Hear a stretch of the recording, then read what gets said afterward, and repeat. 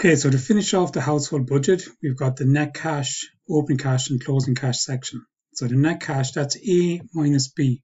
So if we look at our budget up towards the top, we'll see A. So A is our total cash. So these figures here for April, 3,720. For May, 3,870. For June, 3,870. And your total, 11,460. That's your A. And from A, it says minus B. So B is your total expenditure. So A is your total income, B is your total expenditure. So your total expenditure is 3,105, 4,525, 3,745, and 11,375. So we need to take A away from B. So for A, for June, it's 3,720. So if we get a calculator and we're going to put 3,720 minus for April, we've got our total expenditure. So make sure you use your total expenditure 3,105. So minus 3,105, we get 650. So our opening cash 615 for April. For May then, our A is 3,870. So 3,870 minus your B, which is 4,525. So minus 4,525 going to get minus 655. So we've overspent in that month. So we spent too much. And then for June then, your A is 3,870.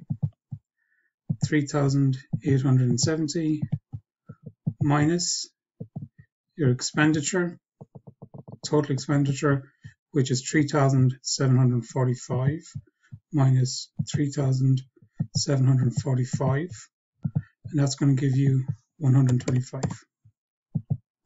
And then your total then for your net cash A is 11,460. So 11,460 minus your total expenditure, which is B, which is 11,375 minus 11,375 and we get 85.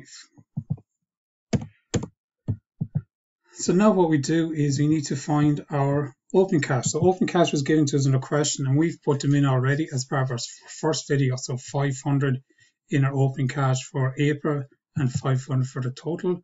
So now to find our closing cash. So our closing cash is 615 plus 500. So your net cash plus your opening cash gives you your closing cash. So 615 plus 500 gives you 1,000 155. Sorry, 1115. So your opening cash for one month, your closing cash for one month is the opening cash for the next. So closing cash for April, for May, because our closing cash for May becomes our opening cash for April. So 1105. Now we've got a minus here.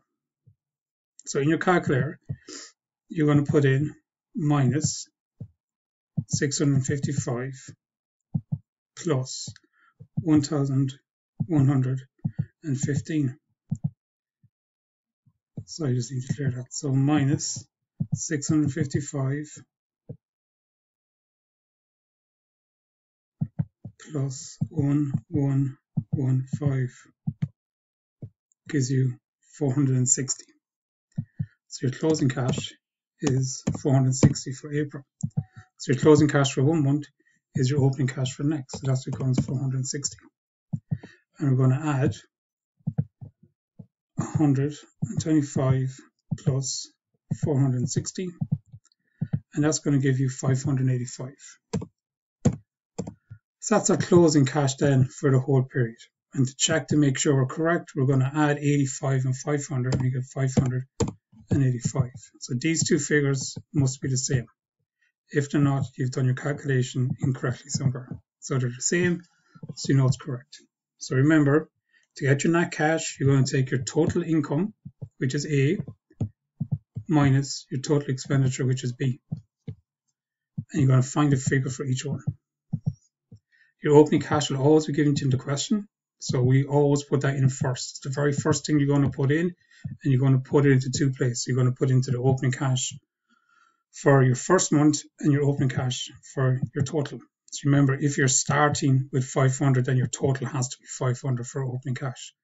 And your closing cash is your net cash plus your opening cash. So we added 615 to 500 to give your closing cash. Closing cash for one month is the opening cash for next. So if you started your balance at the end of January, 31st of January, if you had 500 euros in your bank account, you're going to start February with 500 euros. So your closing cash for one month is the opening cash for next. Net cash plus opening cash gives you closing cash. So minus 655 plus 1115 gives you 460. That becomes your opening cash for next month. We add on 220 to give you 585. So we know we're correct because these two are the same. And that's how you answer your household budget. So remember, break it up into different sections. Income, see what information is given into your, in the question, and fill in your budget with that information. Make sure you add up your column, add up your row to get your totals. Do the same for planned expenditure. Remember, planned expenditure is made up of fixed, irregular, and discretionary. And those subtotals, those three subtotals, so subtotals for fixed, subtotals for irregular, and subtotals for discretionary, those three are added together to get your total expenditure. Your net cash is A, take away B. A is your total income, which is up here. B is your total expenditure, which is down here. Those taken away from each other gives you your net cash. Opening cash will give you in the question, and your closing cash is net cash plus opening cash. And remember, closing cash for one month is the opening cash for the next. And remember, the opening cash for your total column is the same for the opening cash for your budget.